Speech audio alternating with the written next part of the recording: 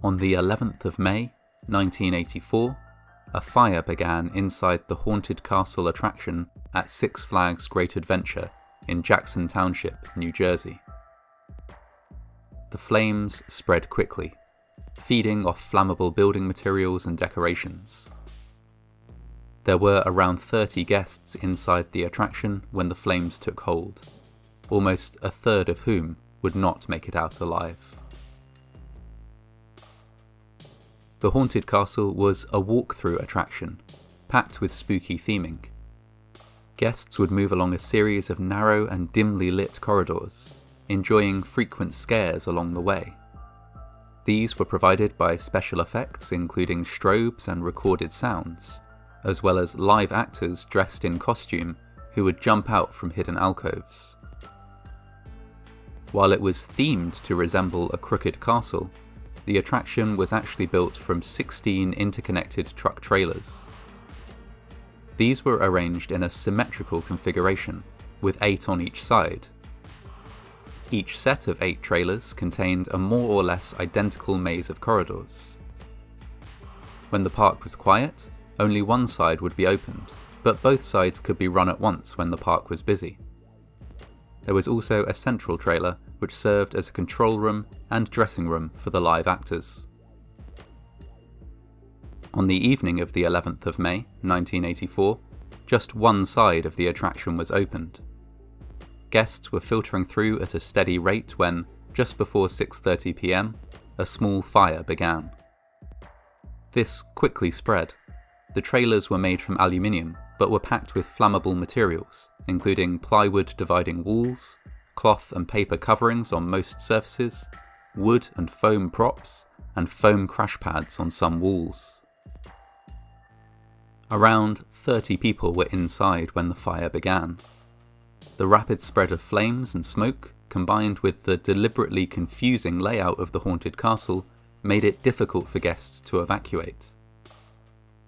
One guest who did manage to escape noted that he'd stumbled, tripped, and bounced off walls as he fled, and that his decision to leave had been delayed because, upon first seeing flames and smoke, he mistook them for just another special effect.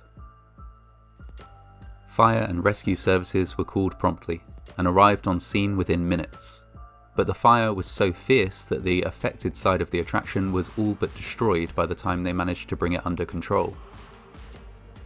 It was, for a brief time, thought that all patrons had been successfully evacuated, but this notion was quashed when eight bodies were discovered in the wreckage, most of them in the same narrow corridor. Some of them were so severely burned that they were initially mistaken for burned mannequins from the haunted castle's theming. The eight victims were all from the same group of friends. Among the dead were 18 year old Nicola Kayatsa, 17 year old Joseph Beiruti, 15 year old Tina Genovese, 18 year old Eric Rodriguez, 17 year old Samuel Valentin, 17 year old Lenny Ruiz, 17 year old Jose Carrion, and 17 year old Christopher Harrison. The park was briefly closed while an investigation took place. The initial cause of the fire was soon identified. A 13 year old survivor named Joey Irica testified that he had seen another teenage boy using the flame from a cigarette lighter to find his way through a darkened part of the maze.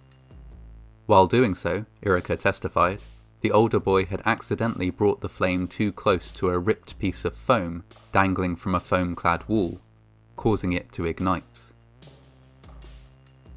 The boy with the lighter was never identified, while using an open flame in such a confined space is a foolish course of action, investigators noted that he was not to blame for the disaster.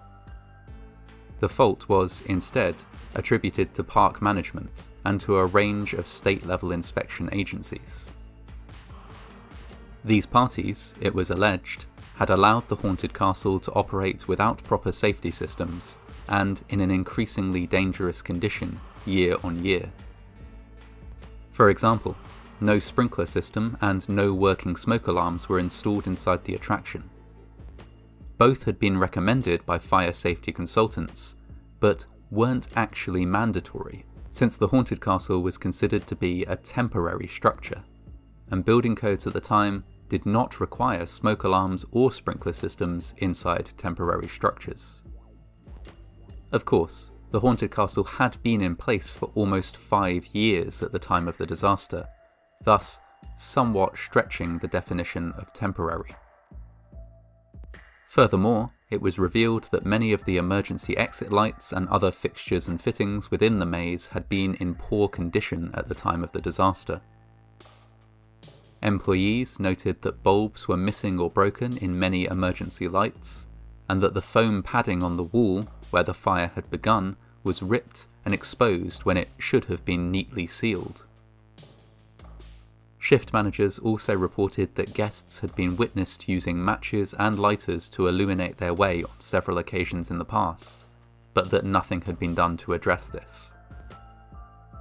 When staff working on the haunted castle had brought up these issues with senior management, they had been ignored, even when they staged a walkout in protest against the poor upkeep of the attraction in 1983.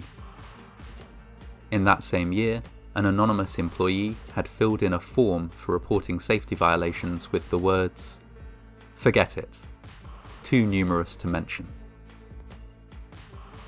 Despite this record of poor maintenance and missing safety measures, both the park and its parent company were cleared of any wrongdoing when the matter came to court. After much deliberation, jurors laid the blame at the feet of Jackson Township officials, who repeatedly allowed the castle to slip through cracks in the fire code. The park had followed the regulations it was required to follow by law, but the law had simply not required enough. Eight civil suits were brought against the park, seven of which were settled out of court for $2.5 million apiece. The remaining suit went to trial, and the family involved were ultimately awarded a significantly lesser sum. Multiple updates were made to New Jersey fire safety codes in the wake of the disaster, particularly with regard to any structure, like the haunted castle, which was intended to confuse or disorientate visitors. New regulations required that all such structures be fitted with suitable fire detection systems, and that when a fire alarm was triggered, lights should automatically come on and confusing sound effects and music should automatically be muted. Other states were quick to adopt New Jersey's rules, leading to a revolution in scare attraction safety across America. Despite this, several attractions in New Jersey suffered as a result of the disaster, and many went out of business. Six Flags Great Adventure itself very nearly folded in 1987, in part due to negative coverage concerning the fire. It was ultimately able to recover and move forward, and still operates today.